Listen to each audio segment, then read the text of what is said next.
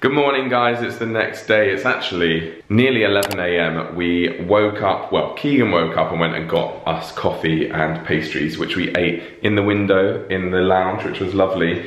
Um, but I didn't film much from last night because my camera died. So I've got two fully charged batteries for today. So we've got some exciting plans for today. However, thought I'd just give a rundown of Queenz. Oops.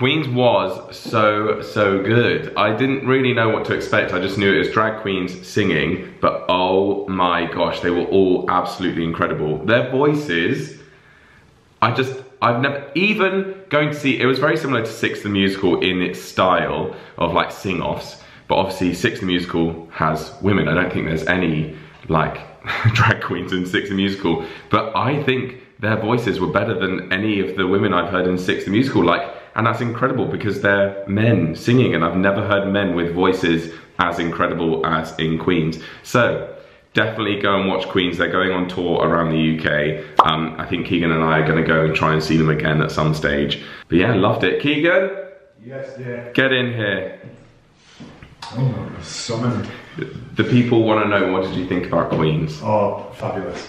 Enjoyed it? Anything else to say other than that? Uh, go watch it. It was very, very good. Who was your uh, fave? Uh, the girl with the white costume on. Yeah. Oh no, I didn't like. There was one with a big hat. Oh yeah, she was camp doing something. Do you know what? Every time they started singing, I'd be like, oh, that one's got the best voice. And then the next one was singing, I'm like, oh no, she's got the best voice. And was, like, they were all just so, there was no one that you were like, oh, they're the weak link. It was, it was nice at the end as well. Mm. They, the, um, they were talking about people, like rights, gay oh, rights, yeah. trans rights, mm. why it's important yeah. quality and all that. So it wasn't just uh, frivolity. Yeah, well, there was there was some substance to it, which is nice. Yeah, it's easy to get caught with. Definitely. So, I agree. Go watch it. Go watch it. Well, we started easy with one show yesterday. I think we've got three or four shows booked today. But before that, we're off to go to Holyrood Castle or something.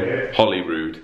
I thought it was Holy Holyrood. But you'll see that as we go along. That is Arthur's seat. You can't really see, the exposure's not very good, but it is a massive rock.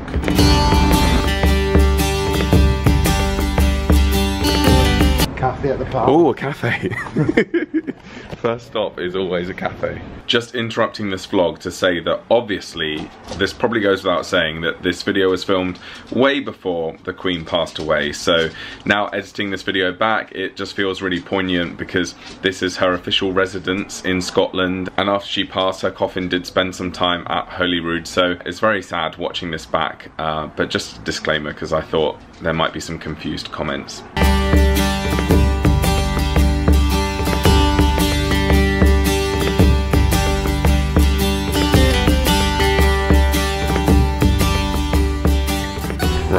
Just arrived at Holyrood House. I have no idea, oh, sorry, Holyrood Palace. I have no idea what this is. I've got an audio guide, so I will be learning at the same time as you guys. I'll relay some information to try and tell you a bit about it. Something to do with the Queen. I don't know if the Queen ever comes here or whatever, but I'm sure she does. But I will let you know.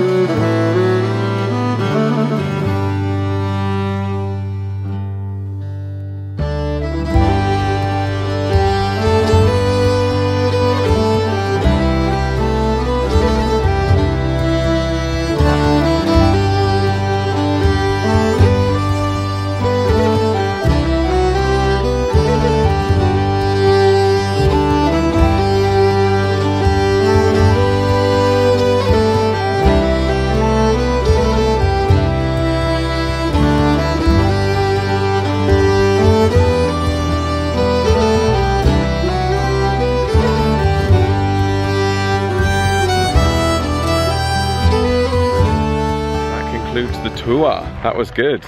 I like that. See, that was very thorough. If, if, you've seen the video before this of us going to Harewood House, and I was like, there was no information. This was the opposite.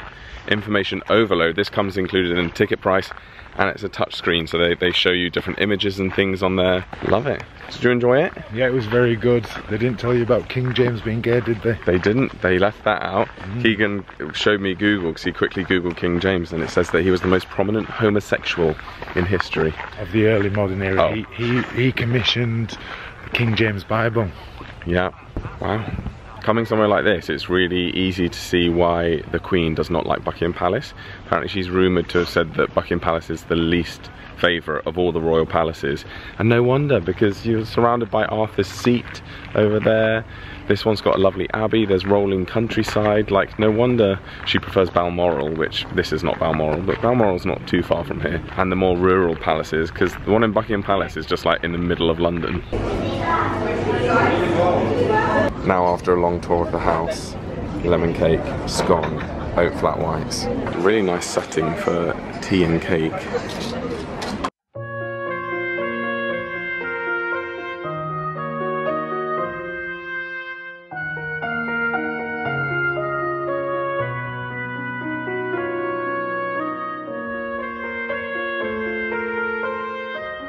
Just stop for a little refresher at the pub sitting in between some cool brick walls. So we've just arrived for lunch at the Scotsman, the Grand Cafe at the Scotsman. As you can see, it's absolutely beautiful. After this, we are nipping straight to our first show of the day, which is all about LGBTQ plus sports, which is right up Keegan Street, because he is an LGBTQ plus sports man. Um, And then after that, we're going to Spontaneous Potter, which we are so excited for.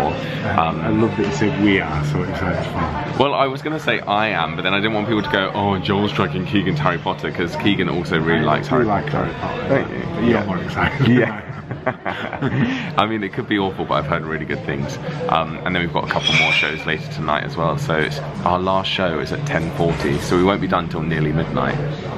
We're crazy turn to a pumpkin, don't you, after uh, midnight? Yeah, I have to go to bed at 11. Joel's nickname is Cinderella. The Plumpkin. Cinders. what is this? A watermelon spritz, gin, watermelon. Gin bubbles, I don't know what the bubbles, bubbles. are. Just carbon dioxide or champagne? Soda water. Oh. You've got no watermelon in that. Saved it all for you. Oh, thanks, babe. That was very quick. I've got a Caesar salad complete with pink eggs. Fantastic. I've got a deep fried onion. Deep fried onion burger. Lovely. Right, we've come to Scran, cocktail bar, and uh, look, I've gone for an espresso teeny, which I think is an espresso martini, and you've gone for a gay drink. I always get the gay drink. You do, don't you? He always goes for the pinkest, sweetest. I don't know he's going to be pink and sweet. it's like me. He is pink and sweet on the inside. Um, whereas this is me, boring and beige. I'm happy with that. I'm happy to be basic. I'm getting this because I need to stay awake until midnight tonight. Really is it? Can I try it? No. I'm trying it anyway. Oh my gosh, that is nice. The, the waiter recommended that cocktail and I looked at it and thought, not for me. That's actually really good. So,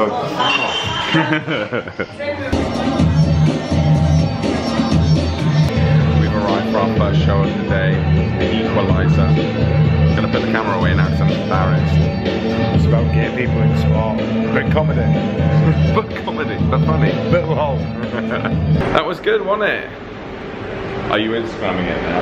I'm gonna tweet him and yeah, it was very good. Yeah, he recognised Keegan, obviously, which I said it would before we saw the show that it would be embarrassing. I think it's this way. It would be embarrassing if he didn't, considering the show is all about LGBTQ plus sport. Considering Keegan is the first gay rugby league player, or openly gay, we should say. There's probably lots of closeted ones. So I was like, it'd be weird if he didn't. And then when we walked in, he was like, Keegan, to Keegan. So that was good. I think he, he was really pleased that you were there, which was great. Yeah. But yeah, he was very funny, and I don't like sport, and I don't relate to it, but I still found it funny. So yeah, that's a sign of a good show. Anyway, we've got 30 minutes now until Harry Potter, now. Harry Potter which I'm buzzing for. Um, so yeah, we'll go and do that.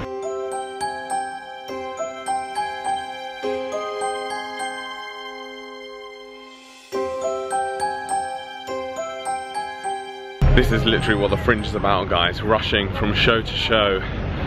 Some like really, you know, commercialized shows. Some less polished shows or free shows even. Um, it's only our second show, but we've got three more left to do today. And it's already 4.30 in the evening, so. Evening? Yeah, it's 4.30 the evening. Afternoon, afternoon, afternoon, afternoon. He's so northern, afternoon. We still need a battered Mars bar. Need. Need. need. So, I believe it's in this building, the Gilded Balloon, which I don't know what it is. When it's not the Fringe, I think this is part of the university. We came here yesterday, had a little drink in there. Yeah, I think there's a few different venues in here, including Spontaneous Potter. I cannot wait. Lots of the shows so far have encouraged people to be filming the show, so it's not very like the West End where it's like, don't film, so I'll see if I can film a bit, but I, for some reason, feel like this Potter one is going to be like no filming whatsoever, so I'll see what I can do.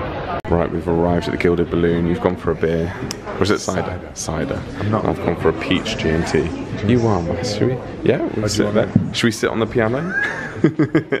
Let's be the intention. Yes. I mean, you do play piano, so you could bust out a tune. We're going to sit by the window over here. I feel like the good thing about me getting drunk is that I don't care about people watching me vlog. The amount of people that stare at you like you're mad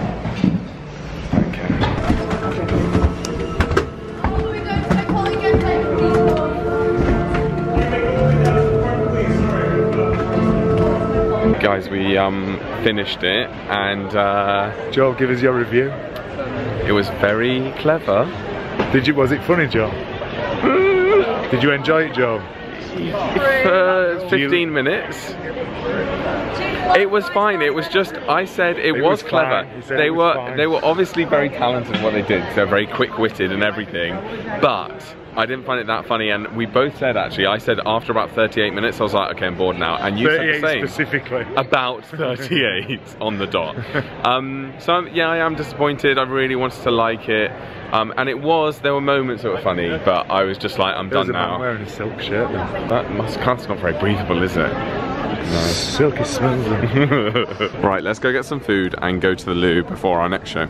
So we got a couple of gyros. I got a spicy chicken one. Look, there's chips in it. That is incredible. It looks so good. And you, I went for spicy, you went for non-spicy. Very nice. Well deserved. We've sat through a few shows today, this is deserved. We have come out of two shows now. We actually mixed up our shows, so we had two booked, three booked for this evening, um, and we've only made one of the original ones, uh, and then we booked another two. we missed two. Yeah, we missed the Nikki one and the yeah Nikki Britton. We booked, we missed one. it, so and we pretended to be a three.